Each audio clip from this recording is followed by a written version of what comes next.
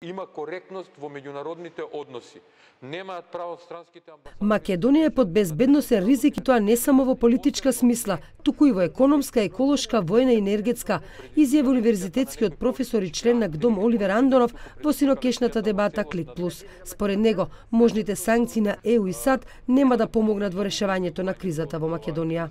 Напротив, ќе не внесе во уште подлабока криза, представува е, отворен веќе до крајни граници притисок врз Македонија за остварување на некои цели кои воопшто не се не се од интерес ниту на македонските граѓани, а верувам ниту во регионот да се дестабилизира државата до крајни граници.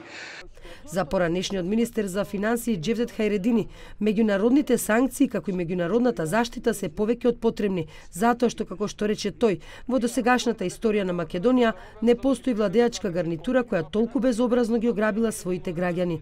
Не се согласува со Андонов дека тајните служби на странските држави вршат притисок врз институциите во земјава.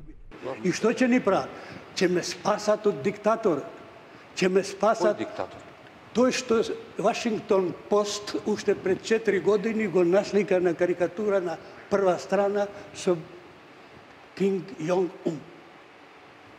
Вие споредувате Македонија Да. со, со Северна Кореја. Да, да, Право, да. господине Ва- Хајредини, не, во која држава Вашингтон- живеете те мо- вие? Не ја, Вашингтон. молам. Не, не, Вашингтон Пост, не Ве ја. молам, па токму тука се Вашингтон- гледа тенденцијата за притисок вршење врз државата. Бојан Маричич од Македонскиот центар за европско образование рече дека секој секого може да обвини дека во минатото спроведувал некаква лоша политика, но сепак, како што рече тој, одговорноста зошто ситуацијата е ургентна е на председателот на државата Ѓорѓе Иванов по одлуката за болице на 56 луѓе, од кои најголем дел се политичари. Според него, Македонија е заробена држава. Заробена држава е која судијата Тоа паѓа во несвест која треба да извлече привремена мерка за одземање пасош на Видите, бившиот судијата може би паднал во несвест од тоа што е заробена државата, бидејќи некој друг странски фактор му вршил притисок.